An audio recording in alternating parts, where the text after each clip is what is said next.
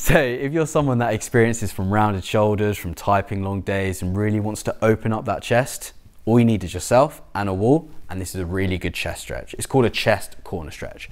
So you simply get into this position here, and all you do is place your hands on the wall and you push yourself forward to really open up the chest in this region here. Okay, now you hold that for about 10 seconds and do that three or four, five times.